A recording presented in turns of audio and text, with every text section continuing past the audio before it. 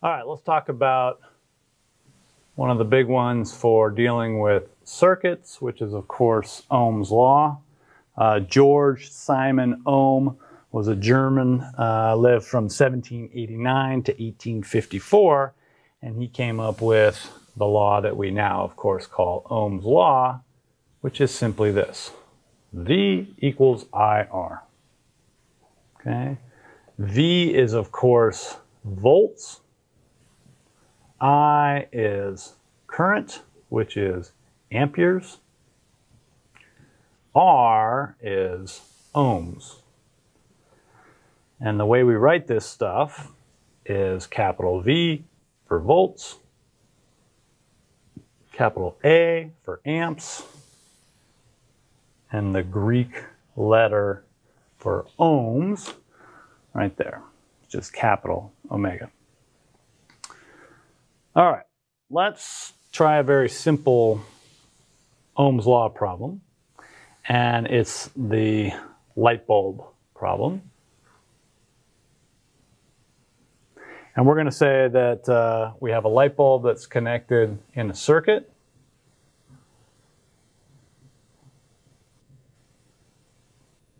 Okay, a light bulb, an incandescent light bulb, is like a very thin resistor. Okay, it's a wire essentially that's in a glass housing that is in a vacuum, and so the thing won't oxidize. And when it gets hot, it emits light. Okay, so it looks just like a resistor, even though there is this glass housing around it. This is our light bulb. And when you get that little filament hot enough, it starts to emit light.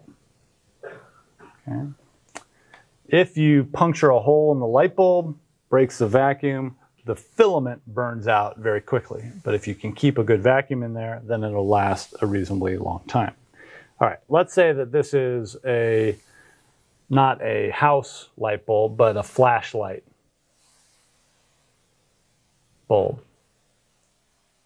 Okay, so in your flashlight, you've got a couple D batteries. A D battery also has a voltage of 1.5 volts, but let's say we have two of them in a row. So we'll say V is 3 volts, and the current that runs through it is maybe 400 milliamps, which is 0.4 amps. And let's figure out what the resistance of the bulb is. Current I, resistance R. All right, Ohm told us how to do that. Piece of cake, right? R is just V over I.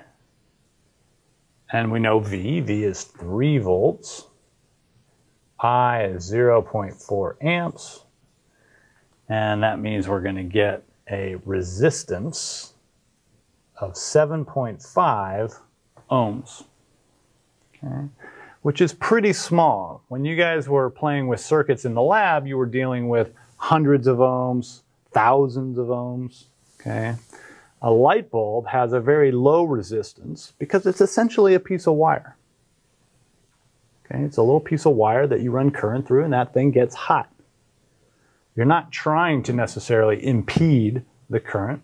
You're trying to get that thing to get really hot and so it will emit light. Let's try your clothes dryer. You have an electric clothes dryer at home. And let's ask the question how much current is going to go through the clothes dryer. Now, electric clothes dryers are typically run off of the 240 volt supply, and the resistance is on the order of 11 ohms. And let's ask the question what is the current that's going to your clothes dryer? All right, no problem. I is V over R. And we have those numbers. So this is 240 volts divided by the resistance, 11 ohms.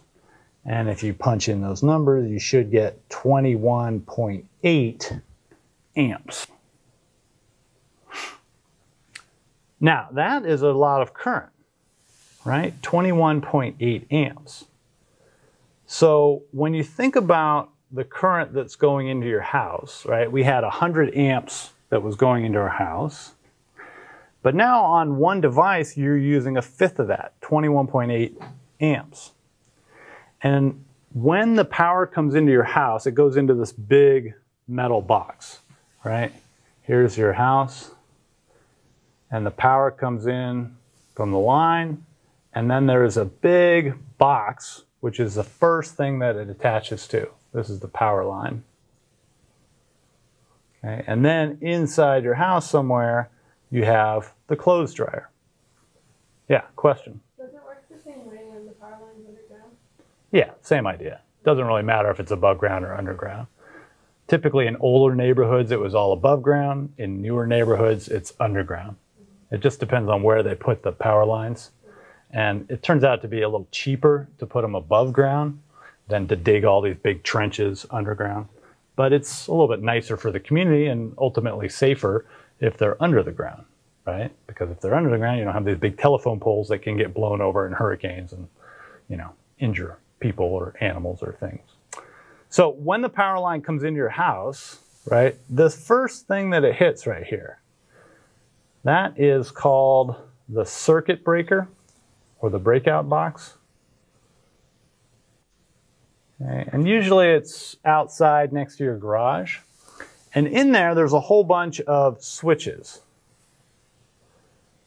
What do those switches do? Every now and then you have to go flip one of those switches, right? You say, oh, we uh, tripped the circuit breaker. And you go out there and you flip the switch and stuff turns back on again. What is that there for? Anybody know? Your clothes dryer is trying to draw 21.8 amps. But let's say the clothes dryer malfunctions and it starts to draw four times that amount, 40 amps. If it does that, bad things can happen. Namely, the wires that are going to the clothes dryer can get hot and burn up. And if they do that, then your house can burn down. And so to prevent that, they put circuit breakers right here, which is essentially a little safety switch. And what the circuit breaker does is, I'm gonna let through up to 25 amps or 30 amps, but I'm not gonna let through 40 amps or 50 amps. And if it does that, if it tries to draw too much current, the circuit breaker flips and it disconnects the supply. And so it immediately cuts off the electricity.